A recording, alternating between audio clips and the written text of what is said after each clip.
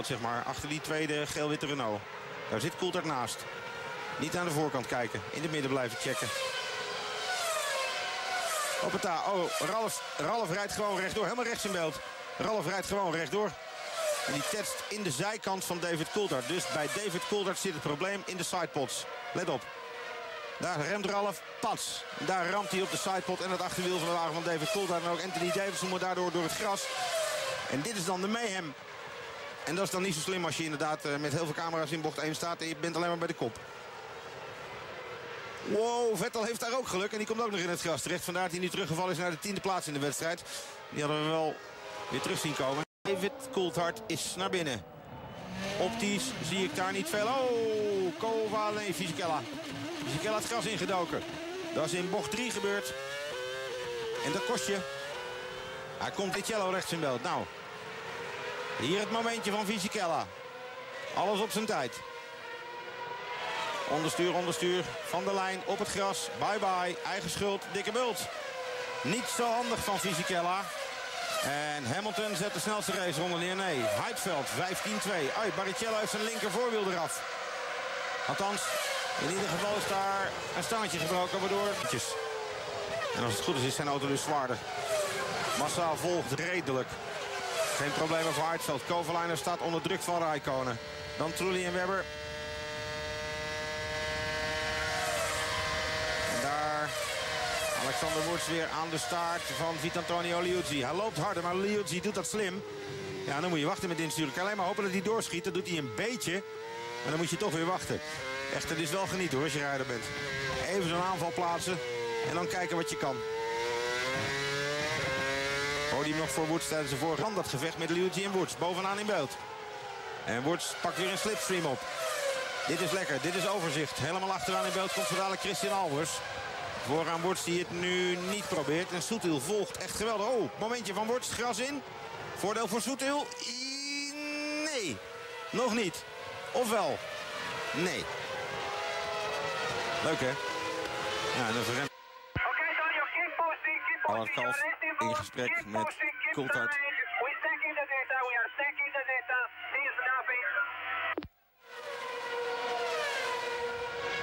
Hij hoort een lawaai, Vit Antonio Liuzzi. En hij heeft dat gemeld op de radio. Keep pushing. Het komt wel goed. Hij rijdt een absoluut verdedigende lijn. Daar is de aanval van Alexander Worts. En die is nu wel succesvol. En blijft hij dat ook? Nee! Geweldig. Maar misschien is het lawaai wat uh, Liuzzi... Wordt nu in... Oeh, Stoetel in de verdediging en staat er voorbij. Als goed is hoeft Stoetel er zich niet al te veel zorgen over te maken. Want wellicht hangt deze Takuma Sato zo dadelijk nog een drive-through penalty boven het hoofd. Oh, het spint eraf! Einde drive-through penalty. Einde wedstrijd. Vraagteken. Of komt hij hier nog weg? Nee, geef te veel gas. Dan graaf je jezelf in. Jammer, jammer, jammer voor Takuma Sato. Stuur eraf. En de story. Geen herhaling van het succes wat hij had een week geleden in Canada. Daarmee is hij op dit moment de vierde uitvaller in deze wedstrijd. Hij rijdt niet op het gras. Het leek eigenlijk alsof de achterkant gewoon blokkeerde. Even kijken wat er gebeurt. Misschien ook wel hoor. Hier komt hij aan. Wel op het gras. Ja, identieke fout. Te veel naar buiten. Zoveel is het dan. Het is maar een heel klein stukje op het gras. En dan ben je gewoon de bok. En ook nu staat Soetel wel eerste rang. En denkt, ja, kun je me lekker inhalen. Eén bocht ervoor. En nu roept hij, uh, tjus, auf Wiedersehen, auf Wiedersnitzel. Tot de volgende keer. Jammer voor Sato. En zo gaat het hard, hè. Niet te geloven, joh. Aguri Suzuki weet dat al die blauwe vlaggen... dat kost hem nog steeds meer snelheid. En daar komt... Oei, hey, wat wapent daar rechtstuk? Plastic. Er ligt wat op het rechtstuk en er wordt ook een olievlag gegeven bovenaan in beeld. Als dat in je sidepot terecht komt, daar zitten de radiatoren van de auto... dan kon je wel eens een probleempje hebben. Maar daarom zie je bij de pitstop ook jongens met zijn arm erin gaan... om dat dan eventueel weg te halen. Kijk, wat is het? Oh, het is een blauwe vlag gewoon. Holy knetters. Dat is lekker. En Marshall laat gewoon een blauwe vlag uit zijn handen vallen. Goed. Ik denk niet dat ze daar 1, 2, 3 een safety car voor naar buiten sturen. Maar er staat wave blue flag voor car nummer 21. Ja, het is dus gegooide blauwe vlag is het in dit geval. Maar ik, ik, zou mij dus ineens weer niet verbazen dat de VIA voort roept... oké, die marches moeten handschoenen aan met klittenband. Dan moet klittenband op een blauwe vlag. Die vlaggen, dat ze die vlaggen in zijn poot kunnen laten vallen. Ligt hij er nog? Nou, hij is weg. De zijkant gewapperd. Ligt hij er nog? Nou, hij is weg. De zijkant gewapperd. Ja, hij zal er overheen jatsen. Hey, wat zit daar, wat zit daar, wat zit daar? Hè? Nou, de, auto, de auto van Albers loopt hard genoeg in ieder geval. Die zit in de slipstream bij Fernando Alonso. Daarom zat ik even te checken. Kella dus voorbij gegaan is aan boord. In opdracht van het team ook trouwens. En die riepen, je moet er nog twee hebben en dan gaat het goed. Zien we dat ze bij het team van Ferrari naar buiten gaan. En Trulli heeft een stuk van die blauwe vlag aan zijn auto hangen. Kijken of hij daar last van heeft. The cars behind you. You're pulling away from the cars behind you, but you need to keep pushing because some cars... Terwijl we Raikkonen het pits uit zien rijden. Hoi, remt zich. Even wennen. Fisichella buitenlangs wordt. Inderdaad. Mooi hoor, goed gekozen. Let op. Hier even pompje gas erbij. Ja, en dan... Uh, wow, wheelbangen. Jawel, touché.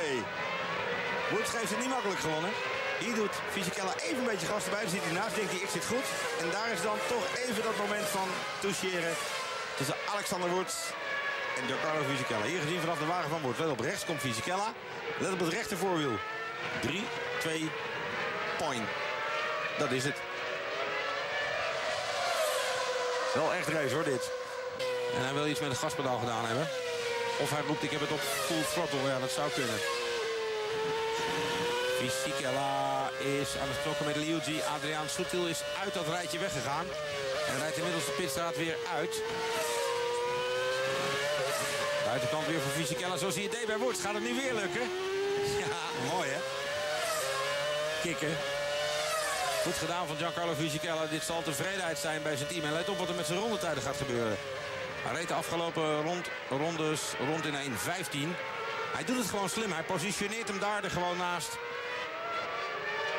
Zit hem er hier echt naast en dan komt het zijn kant. Maar daar zit Alonso op de start. Nu moet hij slim zijn. Maar een slipstream van je eigen auto. Kan het. Denk het wel. Let op. Hoe loopt hij door die bocht heen? Daar kiest hij al een iets ruimer spoor. Kijk, kijk, kijk, kijk. Hij weet dat hij misschien maar één kans krijgt. En die is misschien wel nu. Fernando Alonso richting de start van Lewis Hamilton. Gaat dit voor de leiding zijn? Jawel, Lewis Hamilton verdedigt Alonso aan de buitenkant. Hamilton blijft aan de binnenkant, dat doet hij slim. Maar houdt hij dat, houdt hij dat, houdt hij dat? Wie remt er als laatste? Even laat. Geweldig gevecht tussen die twee campanen van het team van McLaren.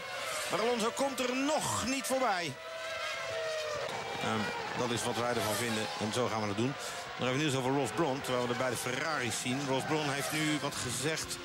Um, er waren wat geruchten dat hij uh, bij andere teams misschien wat zou doen. Hij zit. Hey, Hartveld gaat stuk. Nick Hartveld gaat eraan. Keep going, Nick. We know it. Keep going. Problemen voor Hartveld zijn met de power steering. Big problems with the power steering. Nou, dan komt nu even naar boven hoe sterk je in je armen bent. Want dat is een behoorlijk verschil. Nou, er zit meer, is meer aan de hand. Dan zal het wel een hydraulisch probleem zijn, wat ook gelinkt is wel vrij heftig dat een David Coulthard met nul punten uit Noord-Amerika naar huis komt. Hij heeft vier WK-punten op dit moment. En dat Hamilton gewoon een zak met 20 punten meeneemt. Wat doet Mark Webber aan het einde van het rechte stuk? Hij zet hem ernaast. Oh, binnenkant van de curve, dat gaat niet. Vol door het gras. Kijk, dan komt hij te ver voor. Maar dat kan niet. Dit is dus de beste lijn. Maar hij moet die plek teruggeven. Ja, dat doet hij ook. Slim. Het is niet zo dat je mag afsteken en meteen doorgaat. Daar zit Sebastian Vettel weer eerste rang. En duikt, nee, net niet meteen aan de binnenkant. Oei, verliest daar meteen een stukje dat hij iets te ver naar buiten gaat. Maar zie je, dat is eigenlijk de snelste lijn in bocht 1. Dus is gewoon binnenkant curves bij het insturen. Radstad vol over het gras met de snelste grasmaaier ter wereld. Maar het mag niet. En dus doet Webber dat wel heel, uh, heel die plek meteen teruggeven. Vind ik trouwens een goede regel. Kijk, komt hij aan, moet je kijken. Rechtse curbstones. Uh, Oké. Hot, stukje vliegen. Traction control erop. Dwars door het logo op het gras. Het is een beetje enthousiast. Trulli heeft er wel mazzel trouwens dat hij niet de voorvleugel eraf rijdt.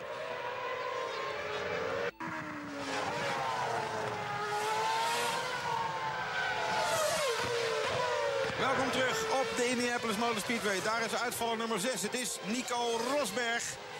Die grote problemen heeft met de aandrijving van zijn Williams Toyota. Er staan fik op de achterkant, vlammen eruit. Vandaar die al zat te wijzen. Daar komt dan zo dadelijk iemand bij. Ja, die teamradio die is van iets eerder.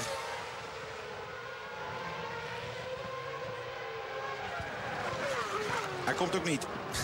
Want hij is al uitgestapt, dus hij kon niet meer over de teamradio. Even uitleggen. Dat nemen ze op op een harde schijf. Ze luisteren of er niet gescholden en dergelijke dingen wordt gedaan. En dan spelen ze het uit. Hij baalt.